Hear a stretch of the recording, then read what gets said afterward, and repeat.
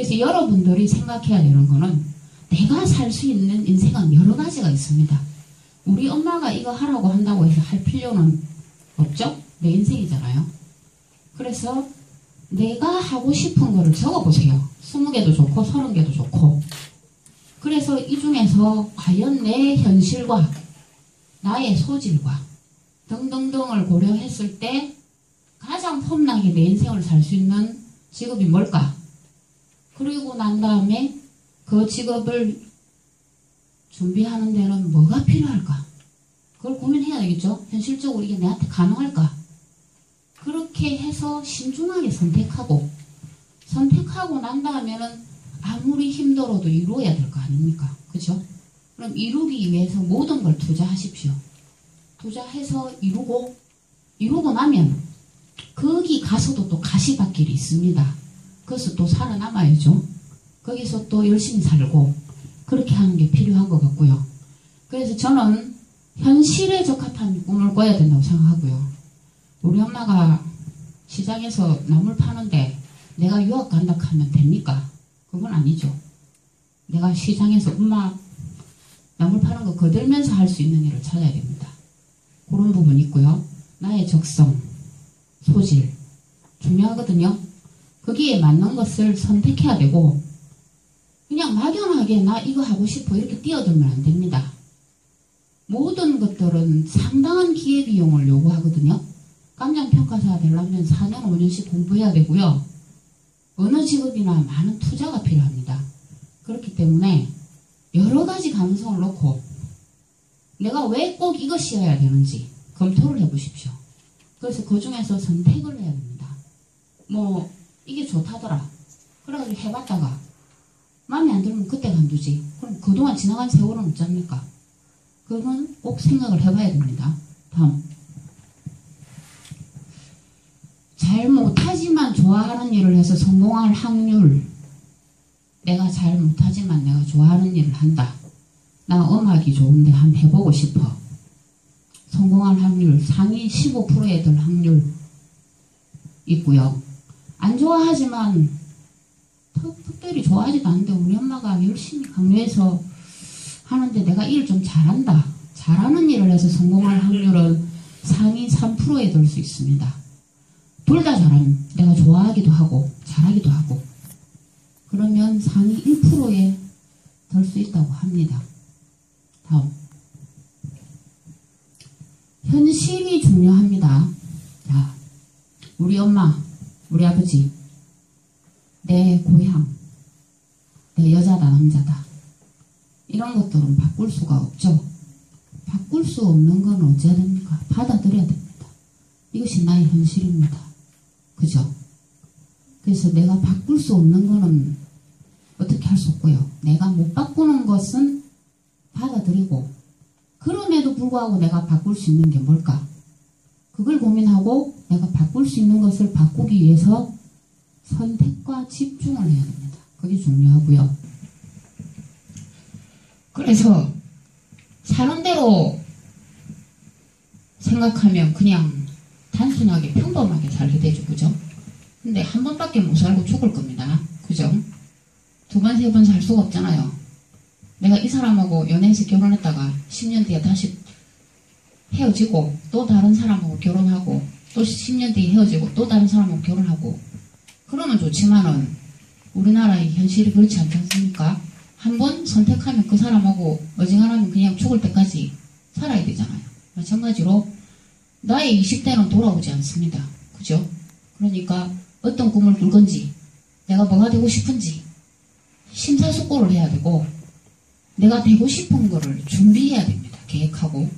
그래서 아무 버스나 타지 말고 이 버스를 타면 어디로 가는지 몇 시간이 걸리는지 생각해보고 행운의 버스를 타야 됩니다.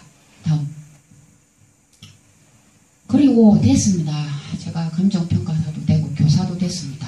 그런데 되고 나니까 무엇이 힘들더라고요. 교사 발령을 받아가지고 갔는데 우리 학교 남아, 남자 중학교 애들이 손에 안 잡힙니다. 이, 이 힘들더라고요. 그 애들의 정서, 생각이 여중 요거만 나오는데 하고 다르더라고요. 아니 5분 쉬는 시간 5분 10분밖에 안 주는데 그 시간에 교실에 남아있는 애가 아무도 없습니다. 다 나가서 운동장에 가서 놀고 있어요. 처음에는 적응이 안 되더라고요. 그래서 아 내가 뭐 했노? 사범대 4년이나 다니면서 아동 심리학 공부도 안 하고 뭐 했노? 반성을 많이 했습니다.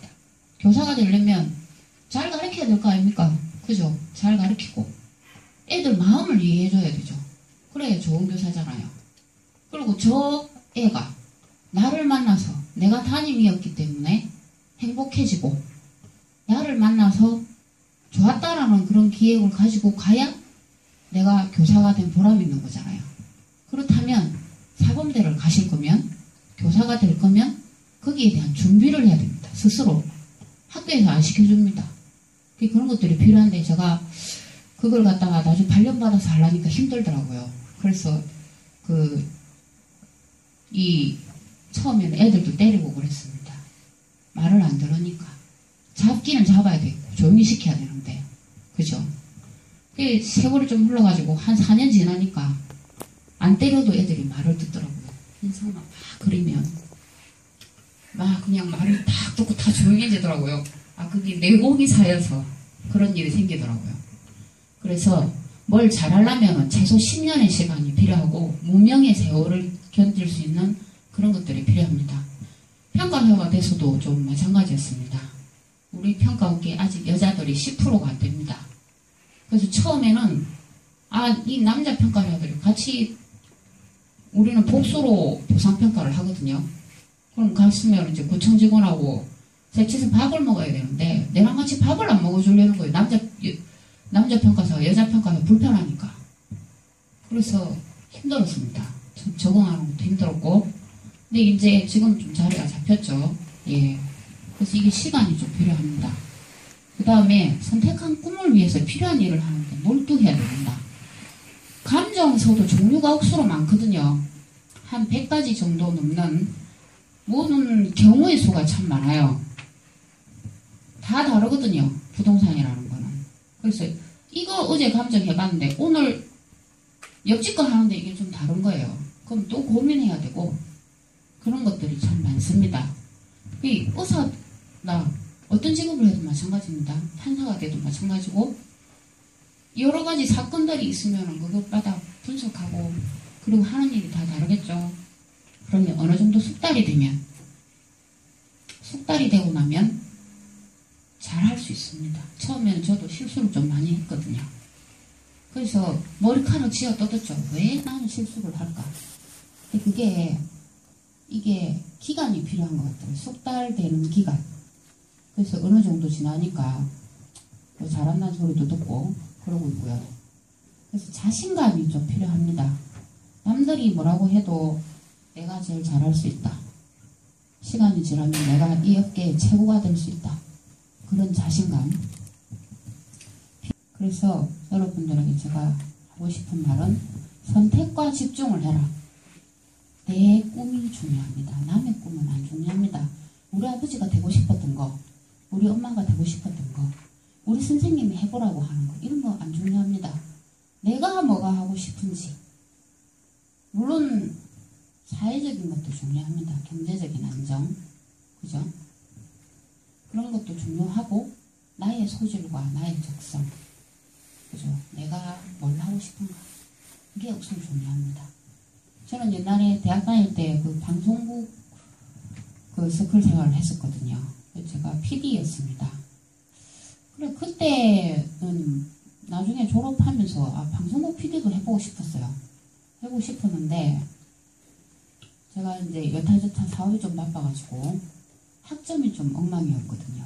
그래가지고, 그 당시 언론고시가 학점을 봤어요.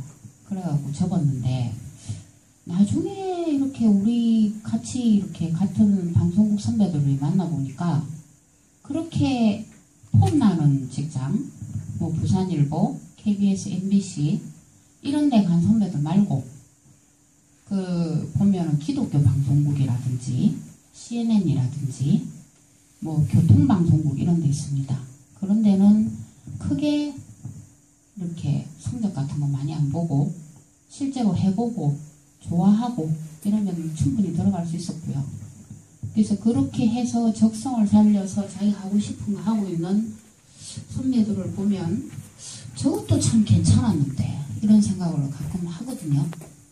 그래서 여러분들도 어, 이렇게 지금 고3이고 졸업할 거고 어느 정도 대학이 정해졌죠.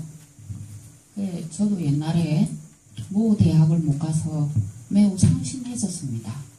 매우 상심했었는데 그때 그런 생각을 했어요.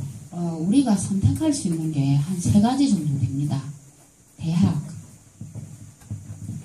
우리나라에서 학벌이 매우 중요하죠. 대학. 그 다음 결혼. 어떤 남자랑 살 건지 중요하죠. 제일 중요한 건 직업. 내가 평생 뭐 하고 살 건지. 세 가지를 선택해야 되는데요. 어, 선택 한 번 한 거 또 바꾸려고 여러 번 노력할 필요는 나는 없다고 생각합니다. 제 친구 친구가 삼수를 했거든요. 근데 나는 차라리 삼수를 할 바사 그냥 내가 지금 고등학교 때 공부해서 나오는 성적으로 갈 수 있는 대학에 가서 고시를 준비하는 게 더 낫지 않냐. 그게 훨씬 더 건설적이죠. 2년이 더 남잖아요. 그죠? 뭐 하러 삼수를 합니까? 그건 아닌 것 같고. 그 다음에 또 하고 싶은 말이 뭐냐면, 그렇게 힘들게 감정평가사가 돼가지고, 영업을 못해서 접고, 그, 거의 활동을 안 하는 사람들도 있어요. 우리는 법인에 있으면 좀 일이 많고, 개인 사무소를 하면 별로 일이 안 많거든요. 근데 젊은 사람들이 개인을 하는 사람들이 있어요. 그런 경우는 자기 적성에 안 맞는 거죠. 물론 우리 직업은 숫자에 밝아야 되고 사람 만나는 걸 좋아해야 돼요. 두 가지가 있으면 그래서 그렇게 뭐 크게 영업하는 건 아니에요. 우리는 정해진 일을 나오는 거기 때문에 구청이라든지 은행이라든지 거래처가 딱 정해져 있어요. 정해져 있고 그 거래처에서는 여러 업체 중에 한 업체한테 그 일을 줘야 되는 일이거든요. 별 그렇게 어려운 것은 아니지만 그래도 누군가를 사귀고 영업하고 이런 게 필요한데 내가 되고 난 다음에 내 적성이 안 맞다. 그러면서 간두면 그동안 자기가 했던 세월이 문제가 되겠죠. 그죠? 어디 간 친구들 중에도 그런 친구들이 꽤 나옵니다. 나중에 대학 들어가서 한 4년 하고 그때 죽는 경우가 가끔 있습니다. 그러면 그 기회비용이 엄청나게 문제가 되겠죠. 그리고 저는 제일 중요하다고 생각하는 거는 내가 원하는 꿈인지를 잘 생각해 보라는 겁니다. 이상으로 마치겠습니다. 감사합니다.